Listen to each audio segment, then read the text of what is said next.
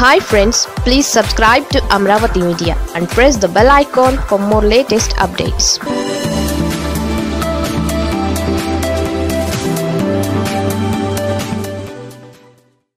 Amaravati land scam అసలు సూత్రధారి ఆయనేనా?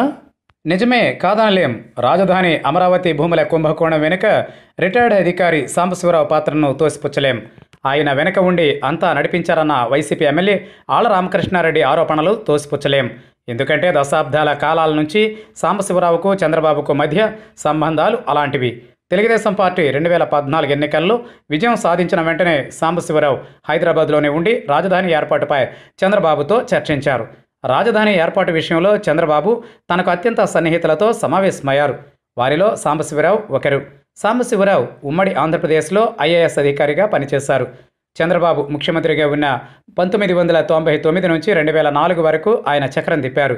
IAS ఐపీఎస్ల బదిలీల విషయంలోనూ సాంబశివరావు ప్రమేయం ఎక్కువగా ఉండేదని అప్పట్లోనే ప్రచారం జరిగింది.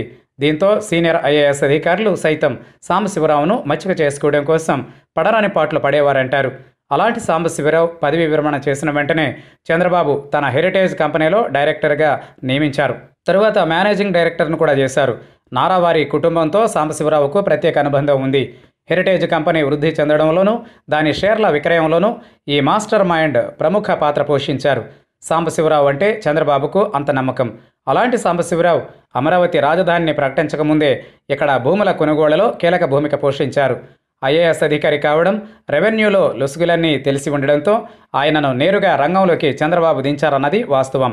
ఆయనే దగ్గరుండి అప్పటి ఐఏఎస్ అధికారులు రెవెన్యూ అధికారులను సమన్వయం చేసుకుంటూ అప్పటి మంత్రి నారాయణను ముందుపెట్టి కథంతా నడిపించారన్న టాక్ ఉంది. రాజధాని ప్రాంతంలో టీడీపీ నేతలు భూములు కొనుగోలు చేయాలన్నా అప్పట్లో ముందు సాంబశివరావును సంప్రదించేవారంటారు. రెవెన్యూ రికార్డులన్నీ తాను స్వయంగా తెప్పించుకుని పరిశీలన చేసిన తరువాతే భూములు కొనుగోలు చేశారంటారు. అమరావతి భూముల విషయంలో చంద్రబాబు సైతం సాంబశివరావు పైనే ఆధారపడ్డారు.